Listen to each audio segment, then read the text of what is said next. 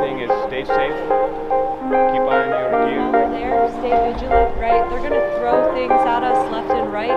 So make sure you're watching out for each other and you're keeping an eye I am PFC Michael.